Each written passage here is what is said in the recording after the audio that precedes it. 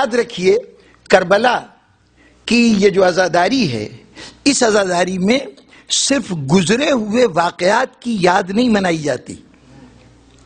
بلکہ اگر کوئی واقعہ کسی طرح سے ہونا چاہیے تھا اور نہیں ہو سکا، تو اس کی بھی یاد منائی جاتی ہے۔ کربلا بیتے یہ ازاداری بیتے ہوئے واقعات کی یاد تازہ نہیں کرتی، بلکہ ان حسرتوں کی بھی یاد تازہ کرتی ہے جو کربلا والوں کے دل میں رہ گئی۔ آپ یہ مت دیکھیے کہ کربلا میں علم کیسا تھا۔ اگر کربلا کا علم وہاں پر حضرت عباس کے بازو قلم ہو جانے کے بعد زمین میں گر گیا، تو اب وہ کربلا کا علم ہمارے نزدیک جہاں بھی اٹھے، اس کا نام ہونا چاہیے، یہ کربلا کا علم ہے۔ پھر اس کے اٹھانے وقت اس کی شکل صورت نہیں دیکھی جائے گی۔ اس کو بلند رکھنا بنیادی کام ہے۔ اس لیے کہ دشمن نے چاہا تھا کہ یہ گر جائے۔ تو جو وہاں کوشش ہوئی تھی گرا دینے کی، ہماری کوشش ہوگی کہ یہ بلند رہے۔ وہاں جنازے نہیں اٹھائے گئے۔ امام حسین السلام کی تدفین نہیں ہوئی، لاشوں کو چھوڑ دیا گیا۔ ہم تابوتوں کو لے کے اپنے کاندھے پہ چلتے ہیں کہ مولا کا اگر اس وقت دفن نہیں ہونے دیا گیا تھا تو امام زین العابدین علیہ السلام کی حسرت تھی کہ کربلا سے جاتے ہوئے انہوں نے کہا تھا کہ وہ بیٹا مر کیوں نہ جائے، جس کے سامنے باپ کا لاشا یوں پڑا ہو اور وہ اس کے لیے کچھ کر نہ سکے۔ تو ہم اس حسرت کی تکمیل کرتے ہیں کہ مولا وہاں جنازہ نہیں اٹھ سکا، ہم جنازے کو اٹھاتے ہیں۔ وہاں بچے پیاسے تھے، ہم جگہ جگہ سبیل لگا دیتے ہیں کہ بچوں کو پانی پلایا جائے، ہر پیاسے کی پیاس بجھائی جائے کہ اگر اس دن سقائے کربلا کو پانی پلانے کا موقع نہیں ملا تو ہم اس حسرت کی تکمیل کرتے ہیں۔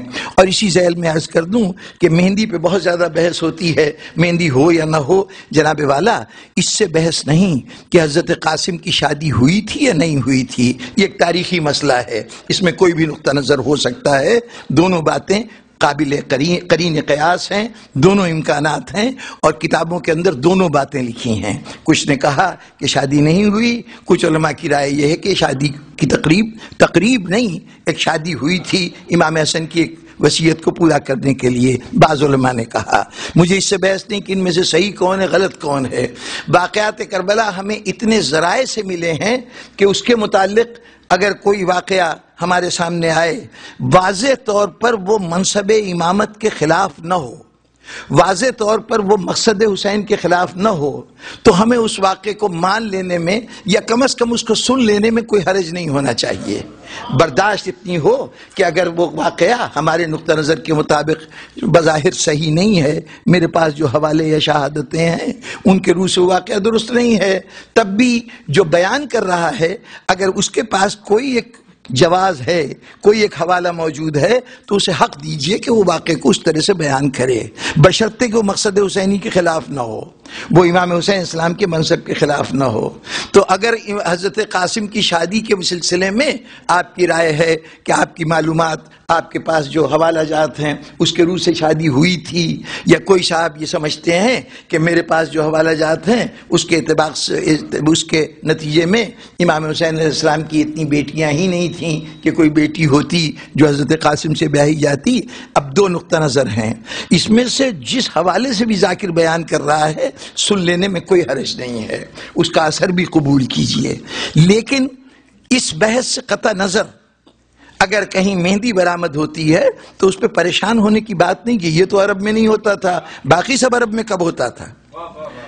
مسئلہ صرف اتنا ہے کہ ایک ماں یہ اپنے بچے کے لیے کیا تمنا نہیں رکھتی کہ کاش یہ بچہ جب بڑا ہو بالغ ہو تو میں اس کا سیرا دیکھوں اس کی شادی کروں۔ شادی ہو یا نہ ہو یہ تمنا تو ماں کے دل میں ہو سکتی ہے۔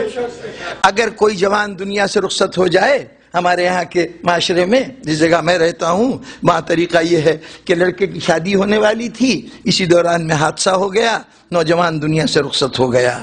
تو وہ صحرا جو دولہا کو باندھا جانا تھا، وہ جنازے پہ باندھ دیا جاتا ہے۔ یہ ماں باپ کی تسکین کے لیے ہے کہ تمہاری تمنا تھی نا دولہا بنانے کی۔ چلو، زندہ کو نہیں دولہا بنا سکے تو لاش کو دولہا بنا لیں۔ بس اسی جذبے کے تحت اگر یہ کہا جائے کہ ام فروا کے دل میں تمنا تو رہی ہوگی نا کہ قاسم دولہا بنے؟ بنا یا نہیں بنا اس سے بحث نہیں۔ ماں کی تمنا تو ہے، تو ہم مہندی لے کے آتے ہیں، جو ہمارے نزدیک شادی کے طور طریقے ہیں، اس کے اعتبار سے لے کے آتے ہیں کہ شہزادی، ہم یہ آپ آپ کے اس خوشی میں جو ہونی چاہیے تھی نہیں ہو سکی۔ تو آپ کے دل کی ڈھارس کے لیے ہم یہ عمل کر رہے ہیں۔ چونکہ کربلا حسرتوں کی بھی یادگار ہے۔ ازاداری کربلا کی حسرتوں کی بھی یادگار ہے۔ اس لیے ایسی بات کے ہو جانے کے اوپر بلا وجہ آپس میں اختلاف پیدا کر کے قوم کو تقسیم نہ کیجیے، خدا کے واسطے۔ اور ایک بات جو میں بڑے ادب سے عرض کیا کرتا ہوں، آج کل ایک جذبہ ہے بڑے زور شور سے ازاداری میں یہ خرابی ہے ازاداری میں وہ خرابی ہے۔ جناب والا ازاداری آپ کے زندہ رہنے کا سبب ہے ازاداری آپ کی زندگی ہے، آپ کے بقا کا سامان ہے۔ ازاداری کی اصلاح کی کوشش نہ کیجیے ازاداری سے اپنی اصلاح کی کوشش کیجیے۔